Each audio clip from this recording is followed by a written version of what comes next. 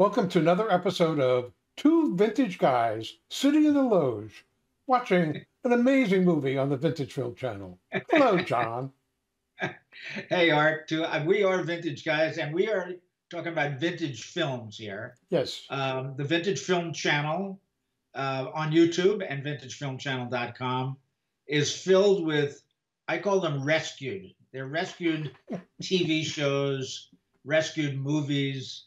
Some of them are really great. Some of them are not so great. Today, this is a not so great one. You this think? is a. You think?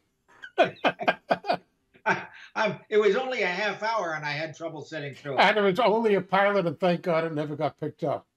yeah, well, now we know why, don't Right. we? We've saw it. So here's for the folks watching. Here's what it is. It's a half-hour sitcom, 1970. Yeah. Two lovable goofball guys that work in a uh, hotel, and uh, they uh, they they somehow bumble into this testimonial dinner for mafioso. All right, and of course, because they're goofballs, they screw everything up. They get in trouble. Uh, their lives are on the line, and uh, madness ensues. And it, it is your favorite scene, Art. Every every character actor that ever played a mafioso Is is in this. it's in this room on this on this very day. Okay. Yeah. The, the last time that they even wanted to be seen with anybody else in a mafia movie. Okay. A mo- not not mob. Let's not let's not give the mafia a bad name. This is a mobster. Yes, A group right. of mobsters. right. Now you can tell just by the way these guys enter. Look at the eyeballs. Oh, this is this is what got me right in the beginning. A little too much overacting, you know. I know it's comedy. I know it's supposed to be slapstick. This was just a little too much for me. And of course, they're goofballs, which is makes it okay. And right around the corner is the beautiful blonde who's going to get them in trouble with the with the gangsters, Right. right? But I, I, I John, John, John, I have to, I have to say that, that Yeah. this is worth watching, just to see how bad something could really be, and still get it to pilot status on a network. This was on a real network. This well, is, it, it it never aired. oh, it was, it it, was, it was shown, and they didn't Back- have, they didn't even have like cable and places to Right. bury this kind of stuff. But this is, this is at the end of a five-year run of Get Smart, okay? Yes. And this Yeah. was not even Get Dumb. I mean, this was so poor. Bosom buddies, okay? So you had two yeah, goofball guys that did goofball right. on, this on was not other it. networks. On other networks, you're watching My Three Sons. You're Right. watching uh, uh, The Partridge Family. Marcus Welby, right. Marcus Welby, Right, and you're right. Uh, um, uh, the, the Get Smart just ended a five-year run when this was made. Right. So I don't know what these people were thinking of. I guess because these two actors are. I I, I thought the actors looked like Danny Kaye. All the mugging and all That's the not fair. facial Danny. I like Danny Kaye. That was not nice. Yeah, I'm sorry. That's an insult to Danny. Kaye. You're right. So anyway, what I liked about this is I liked the idea that I could look back to 1970 and say to myself, I can see why they didn't put this on the air. It was terrible. It really was terrible. And by the way, it it gives me hope for us that if somebody gave them money to Yeah. do that, we could certainly should be able to get some money to do something that's a lot more quality than that. Oh, so oh, I don't know. This, look, this is very well done. It's just that I think they they pushed these two actors pushed the limit to making silly faces. they you know. spared no expense. And no, I think what happened was somebody said, "Hey, look, I work over at this hotel.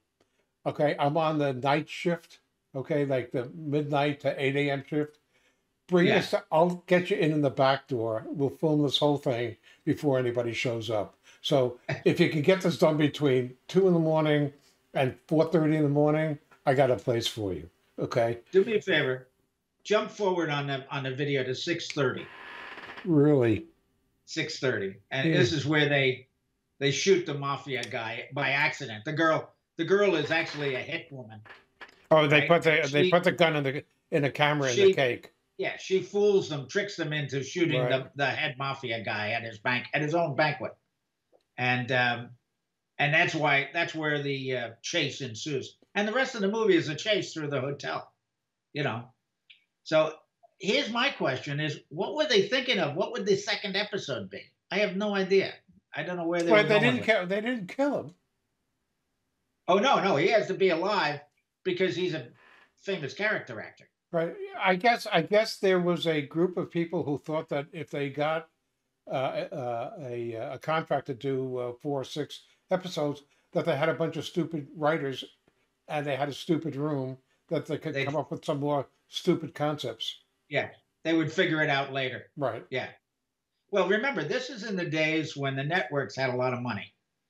And they would actually make a pilot like this. And if they didn't like it, it would never, ever see the light of air, uh, uh, TV. And that's what happened to this one. This was never on television, not even one show. I So, you know if they a- spent if they spent more than uh, two thousand dollars on this whole episode, which included craft services and fifty bucks for the name character actors, uh, I'd Yeah. be stunned. Go to uh, 1630. Boy, you really paid attention. You paid attention to all oh, these yeah. I, special these moments. favorite parts. Okay, I didn't. 1630 My is where, favorite part. uh, my favorite part came near the end. Yeah, now they're chasing uh, the female hit person. Right, And and, they they, dress they- up they- like, and so that this is a precursor to Bosom Buddies. Yeah, Or- or some like it hot. They were. This is a Yeah.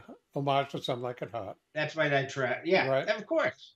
Yeah, it made a good effort at it. You know, here's the here's the mud spa, or whatever they call it. Well, how do you know Uh, so much about these things? I've never been in a mud spa. Oh, you've never been to the Uh, no. Club Mud? Oh, that's right. I forgot. You're a farmer. You have a, a farmer. Yeah. yeah, you're a mud guy. Yeah. I'm okay with it. I'm just saying. So, you know, you can see the humor here. It's not. They did a lot of work on this. This is some funny situations. Really. It's just somehow not that great. I don't. I don't know how. You know. You know, reminds me when you say it's funny. It reminds me of uh, Good Morning Vietnam when uh, the captain says, uh, Yeah. "I know what funny is." Yeah. Okay. Yeah.